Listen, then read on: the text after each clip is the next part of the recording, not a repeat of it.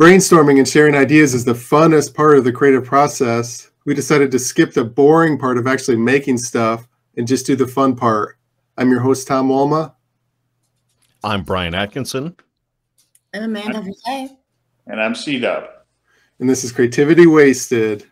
My idea is I want to come out with a line of candles that range from uh, gasoline scent to uh, lawn clippings to Newport 100 smelling candles. You know what I'm saying? Are are these candles that smell terrible, or are these candles with just very different scents than what we're finding in the Yankee candle section? Uh, they smell good to me. Okay. And that that's all that matters. I'm making them. Uh, oh, okay. There you go. I've always wanted a gasoline scented candle personally. I love the smell of gasoline. Sure. I can't get enough of it. I wear fragrance that has notes of gasoline. It's kind of awesome. I'll yeah, I love it. I think if you make a candle and infuse it with gasoline, light it and see how it goes, get back to us. All right, gotcha. You could probably make a candle out of a Newport, just like melt the candle wax around the yeah. cigarette or something. Use There's it as Newport the wick in the candle.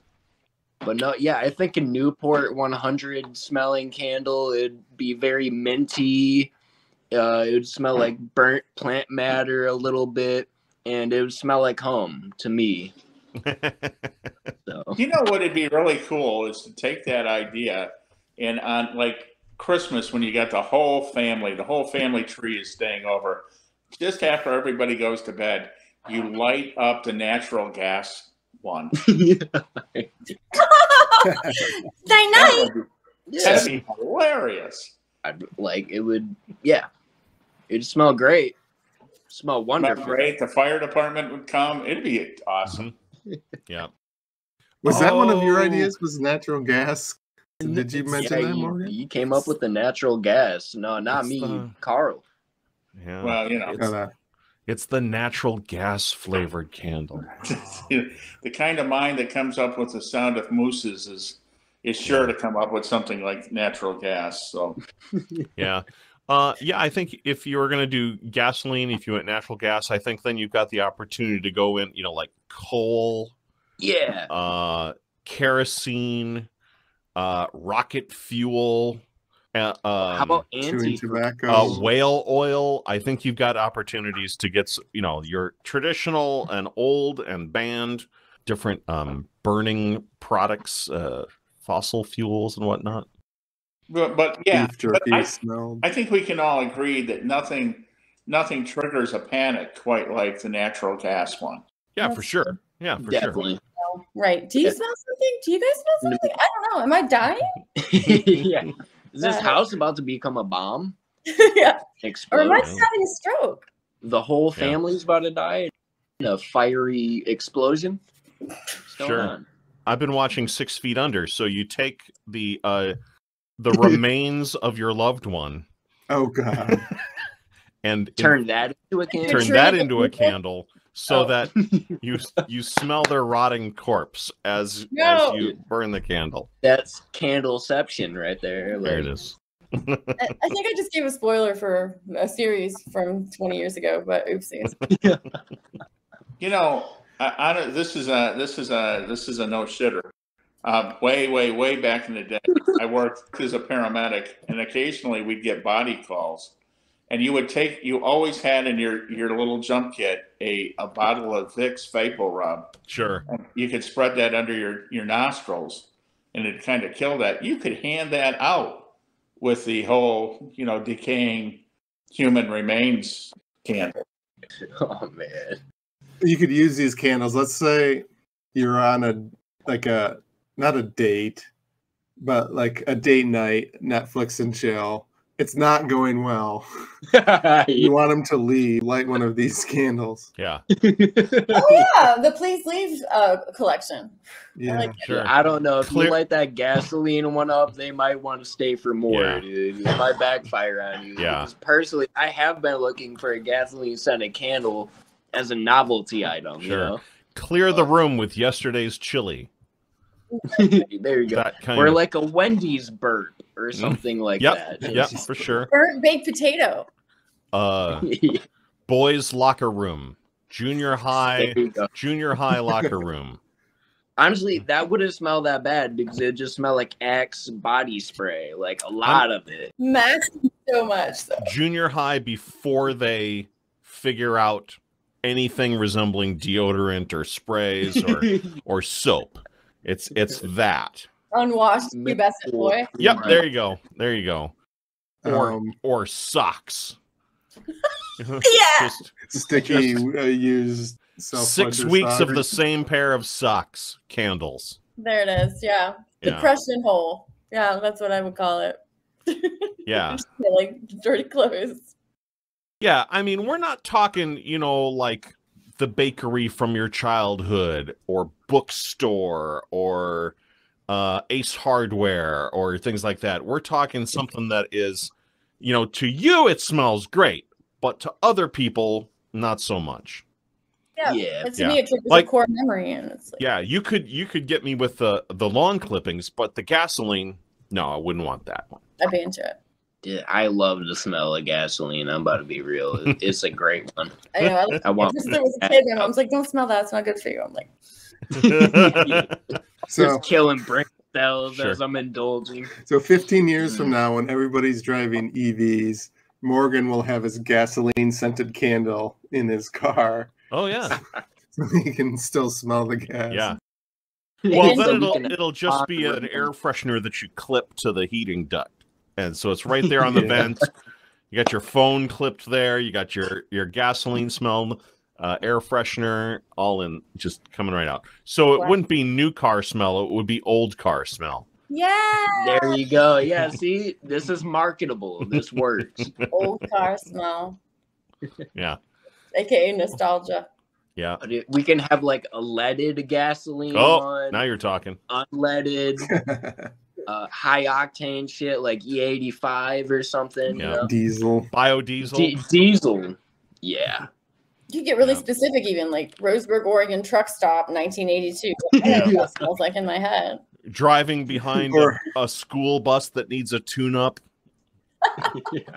Or light this while watching Fast and the Furious at time Yeah, yeah. 12 minutes, Timestamp. 42 seconds. Okay. That's a good idea. Fucking propane. I mean, I guess that goes hand in hand with natural gas, but propane Similar. smells fucking Yeah. too. Uh, you gonna get some uh, propane and uh, propane accessories.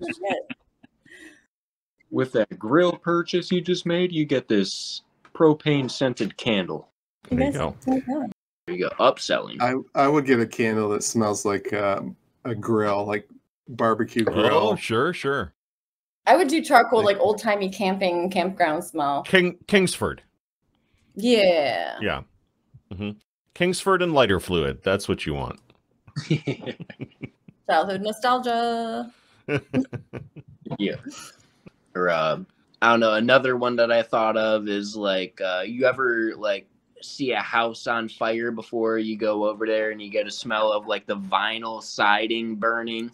Hmm. It doesn't smell that bad, honestly. It's all right. Man, I welcome that into my house. You know, Morgan, when you say it doesn't smell that bad, I'm already going down the road of I don't think that your definition is the same as mine.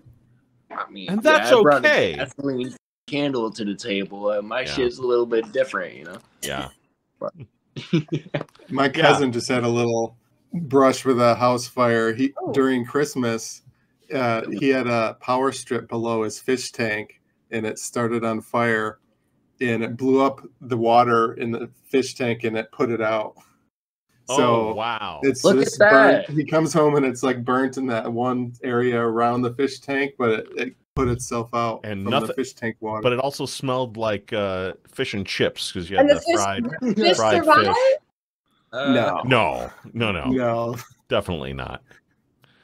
Well, I just thought Yeah, that- something as horrible as fish death happened. That would be the first thing you guys would be talking about instead of just brushing over it like it's no big deal. The corpses of these poor fish. I wouldn't mourn for a fish dying. I don't know. Maybe I'm just a psychopath. Regardless, But, you're all um, bad people except for No, no, no, no, no. If it, you don't have to mourn for anything that you can flush down a toilet. Yes, you do. It had a face. Kind of. Kind It had of. one and a face on each I mean, side. you can only see one eye at this at any given time. Yeah, we're quantifying what. Yeah, yeah. We're we're not talking about flounders here. You can see both their eyes. We're, know, They're legit. Don't eat them. Regular fish. Don't murder them. But yeah, regular. Fish smelling candles That wouldn't be for the. Japanese people because they love they love everything Alligators. Seafood Alligators you can flush down the toilet. Octopus. No. why would you- I agree with that. Yeah, they're soulless creatures. They have nothing going on except for death and destruction. That's all they're you go. around for, really. You guys are terrible, terrible people. Ah. Well, Carl didn't say anything. I didn't. Yeah. I'm just, I was, I was thinking, you know, if you can get like a hundred people and you can have them, you know, just pass around a, a baggie and everybody takes the lint out of their, their belly buttons Huh? and you make it, let me finish, please. Okay, so they're gonna not get gross. Okay. This is important. It's gonna get gross. This is important. I don't see any other option No. here. so yeah. So, anyways, I mean, and you throw that into a jar, throw some wax on it and stuff. Not only do you have something that's a, a candle that smells like that, but you know those little hairs as it burns down, they kind of spark and stuff. It's Ooh, kind of cool. A a way. sparking candle. It Keep would them be. alive through their belly button lint. There was a guy like 20 years ago, you know, early internet stuff that he was he'd been collecting his his uh, belly button lint for years and saving it in jars. And he had like this jar was this year and this jar was the next year. Ugh. That's the kind of person that murders people. That's like collecting toenails of your victims. Like that's not. That's like. Yeah, but it was his own belly button lint. I it know, wasn't but like that's like one step away from. uh-huh. Wait, you've got a one problem, Amanda, with How much belly button lint do you guys get? I don't think I ever get I belly don't button either. Not to brag. Yeah. I just checked. I don't. I I, just checked. I think I you did. don't. I definitely don't get enough to fill a fucking jar full of it every Right. year for sure. have you tried? No, No, not, you- not no. yet. You're uh again, I don't. Is it from like sweaters or something? For s- like- wool like, or like the fuzzy inside of a certain type of sweatshirt that's the prime uh creator of belly button lint so if you're wearing yeah, I'm a sweatshirts t-shirt person. yeah Hey, if you're not You you're not going to get a lot I've- my first the first set that I did was about smoking weed and whatnot, and I was talking about whether the the weed that you can get at a dispensary right now is any more potent than the weed my brother and I smoked in 1972. And I said, a, a little test you could do would be to take, you know, pass a baggie around this entire room, have everybody take the lint out of their belly buttons, throw that into a bong and light it, and you would find that that that was a hundred times more powerful than the shit we had in 1972. It's the only way to find out. okay It's kind of true. and then you take all that belly button lint and you put it into a candle Yes, absolutely. yep and uh the the older but very attractive woman who is uh burning the candle is also solving crimes and Obviously. having sex with anonymous strangers Yeah, I think so. Mhm. Yep. We're working on it. And I forgot what the other ideas it, were. it was the flavored mucus and i and Oh, i'm i'm not doing callbacks to my own stuff oh heavens! any uh, shows or anything you guys want to plug? I've got the uh, whole month of January off because I'm recovering from back surgery, but uh, I go back to it February of of opening for Adam Minnick. He's uh, an Ohio-based comic, and I'm doing shows in uh, in Holland and then Central Indiana and then Northwest Ohio. Uh, uh, kind of different weekends opening for him. A week from Wednesday is the Detroit to LA finals at Ridley's. Very fun. Oh, you're in that? Awesome. Yeah, so want to get there. February 17th, Bob Fredericks is having a show in Kalamazoo about, uh, I can't remember what it's called, but it's like, because it's going to be around Valentine's Day. So it's like shitty mm-hmm. relationship mm-hmm. stories. Ha Ha ha ha. Yeah, that's what we're doing down in uh, Kokomo, Indiana on the 17th. Okay, cool. So yeah. I get to tell my worst. I have to figure out what disaster to go on about, but it'll be fun. Excellent. I'll be at River City Saloon uh, I guess this fucking Wednesday, not tomorrow, but next day. Like the 10th? yeah. This has been a production of Planet Ant Podcast, powered by Pinecast.